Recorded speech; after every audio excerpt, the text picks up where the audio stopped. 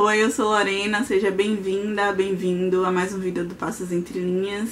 Hoje eu trouxe para vocês uma entrevista que eu fiz com a escritora Oinkam Braithwaite, que é autora do livro Minha Irmã Serial Killer, que foi publicado aqui no Brasil pela editora Capulana. My name is Oinkam Braithwaite and I'm the author of My Sister the Serial Killer.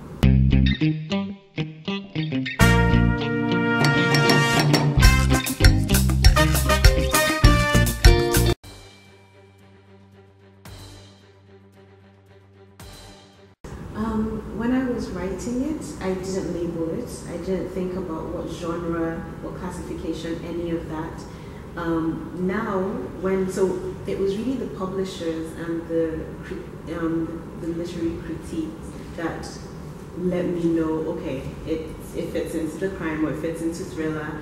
Um, but when I'm kind of cornered, where people ask me, I generally say it's noir.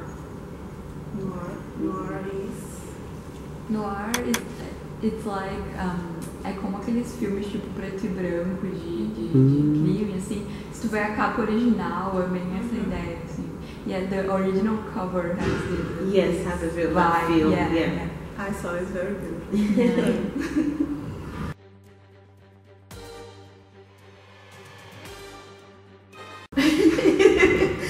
Um, I watch a lot of like Law and Order, CSI, you know, Criminal Minds. I, I watch a lot of those kind of, and because I consume so much of that, um, that sort of content, it was just a fact I knew, like these weird facts that are just in your head. So I just knew it. I don't think, and I remember googling it to confirm, but. Um, after the book came out, I realized that because I just thought it was like a universal classification, but it was after the book came out that I realized it's a very American, you know, like that number is very American thing. Some um, countries don't even have a term for serial killer. You know, they just refer to them as multiple murders. So, um, so I didn't even. So I learned actually a little bit more about that after the book had come out. And uh, do you read uh? Um, yeah, I read a lot of crime fiction. I read a lot of fantasy as well. Um, so I suppose both of them influence me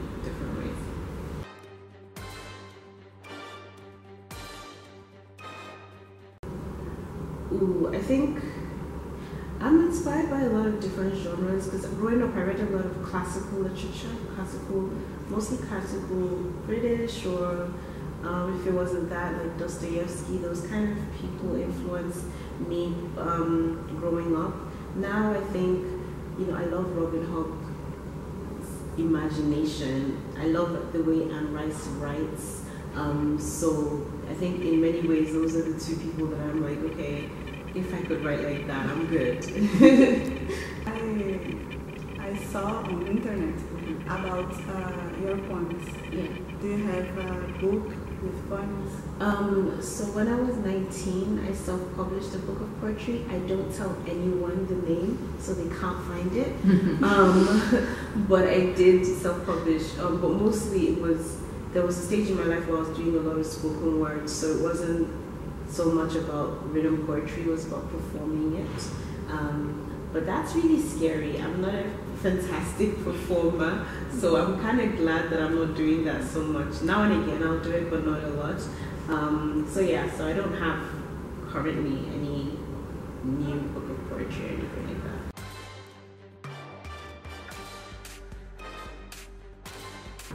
Do you know what?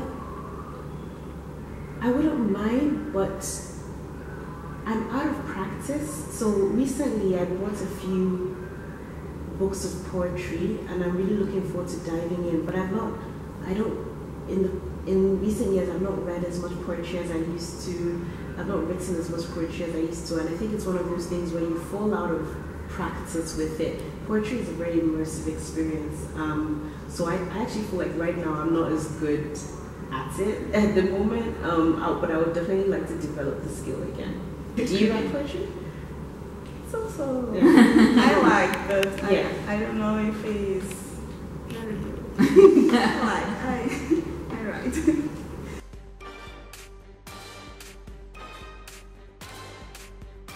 It's still an option. stage, so I don't know if I still don't know if it will become a movie. And I understand this is very common. Like some movies are optioned and never become a movie. Um, so hopefully it, it, would be nice to see it as a movie. I think.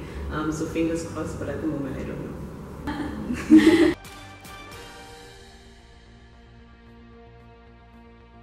I mean, I'm not really surprised because the black community is a massive community and financially it makes sense to create content for them. You know, it makes sense to create content for the community because we've got the numbers and I think what's really surprising is why it's taken so long um, for them to realize that. So now I think I think it's more a marketing thing than anything um, that all of a sudden people want content coming out of Africa. It's not, I mean, part of it is the realization, you know, people want representation, but I think also part of it is that, I mean, if you look at the way people responded to Black Panther, um, Black Panther, I don't know how it was in Brazil, but people kind of went nuts, you know, for it. And there's no other movie I've ever come across that's brought that, not the numbers, but the the passion and the you know like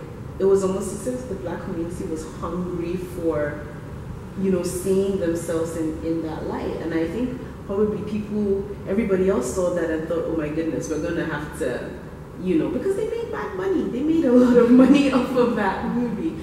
Um, so i'm not surprised. And like partly i've always kind of thought that there was space for me in the market. Um, you know because there's still so much material, untapped material, I think, in, in, in the black community, but especially in Africa. Like, we've not even started to shine a light on the different cultures, the different tribes, the different religious practices, the different home life. The, our history is so rich. There's so much to tap into. So, like, it's only gonna get bigger and better. I think. Espero que você tenha gostado da entrevista, de conhecer um pouquinho mais sobre a OIN e de conhecer um pouco mais também sobre sua obra. Se você não é inscrito é inscrito no canal, se inscreve, curte o vídeo, compartilha. E é isso, vamos divulgar literatura. Até a próxima. Tchau, tchau.